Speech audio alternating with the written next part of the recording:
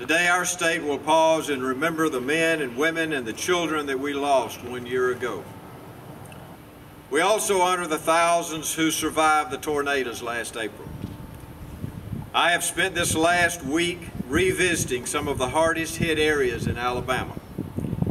And I had a chance to check in on families and sometimes at their homes to see how they're coming along. We've made a lot of progress in the last year, but we have a long way to go. I love the people of this state.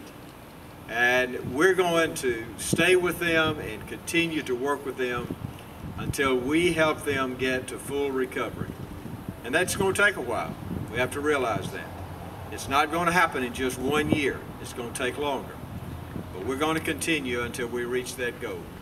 It's very scary, but it's also very, you know, I know there's a reason for everything that happens, and um, I just try to try to think about that when I see these names. And there's a there's a plan for it all. It's just a matter of what comes up.